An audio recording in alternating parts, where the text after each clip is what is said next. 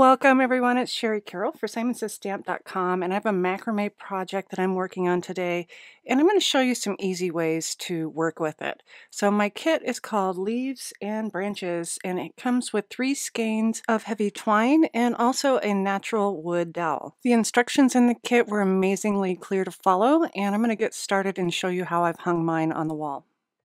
This is my first macrame project and I watched some videos and I noticed a lot of artists had theirs hanging and so I've used some command strips and stuck them to the wall and then I hung the wooden dowel from some extra string. Working this way allows the weight of the strings to hang directly down and let gravity take its course.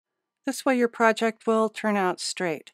I've also attached my instructions to the wall with some tape, and this is for quick reference since this is new to me, and the knots are new, so it has all the instructions on the front side, and then on the back side it has a diagram of how to work.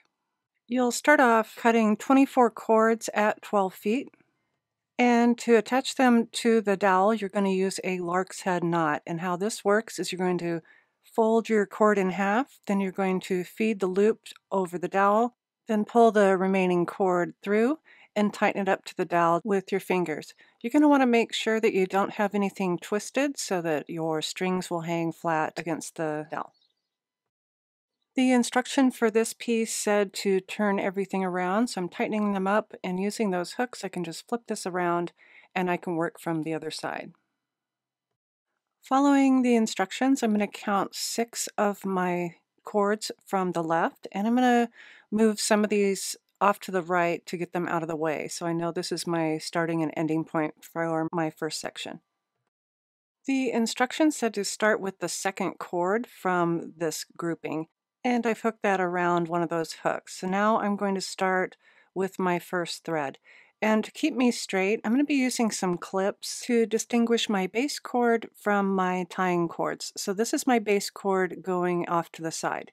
And the clip I can move around once I move further into the project. There's only a couple knots to know for this project, and they are diagonal clove hitch to the right, diagonal clove hitch to the left.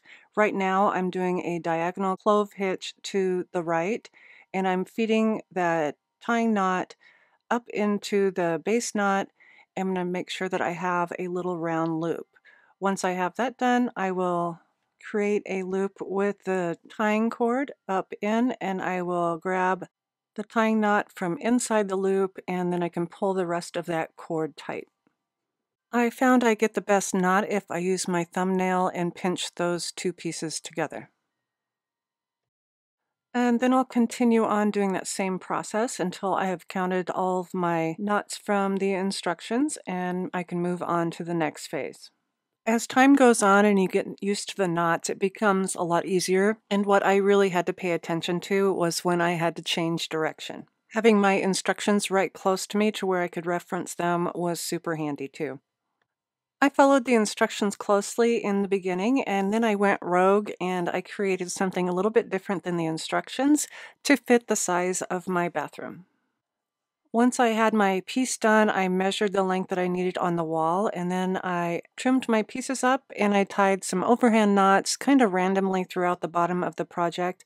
And I'm also trimming off some of these pieces so that it's not a straight line. I want it to have a nice whimsical look.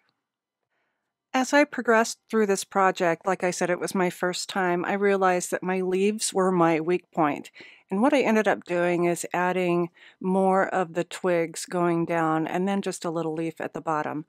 To hide some of my indiscrepancies, I'm using the Tim Holtz transparent wings, and these are a bunch of butterflies and dragonfly wings, and they are from clear acetate. So this works out perfectly just to hide some of those knots that don't look so good.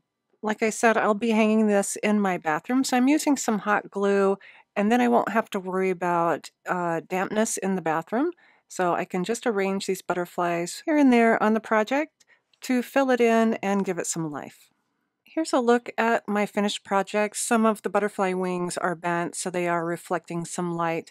But the finished project is 32 inches in length, and that's going to sit right above the countertop to the side. I hope you've enjoyed this project. I'll definitely try it again and get used to doing some knots and honing in on my macrame skills. Be sure to check our store. There's several macrame kits that you can purchase, some small, some large. And as always, thanks so much for watching.